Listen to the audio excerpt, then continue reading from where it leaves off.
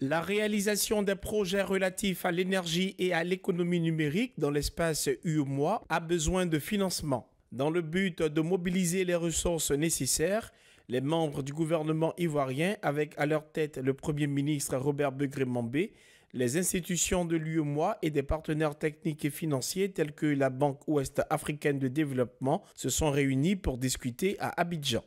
Nous voyons ce que représente aujourd'hui l'économie numérique dans la marche du monde, dans la marche des sociétés.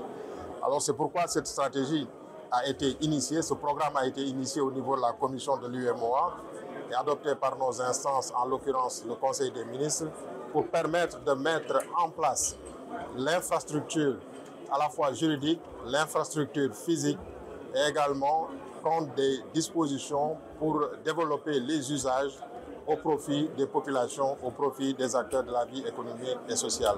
Sur 15 milliards de francs CFA à investir dans la stratégie de développement de pôles énergétiques SDPE, 7500 milliards de francs CFA sont à rechercher. Quant au programme régional de développement de l'économie numérique, l'on reste en attente de 121 milliards de francs CFA. Alors vous savez que l'énergie est un sujet important, sensible, euh, fondamental, structurant.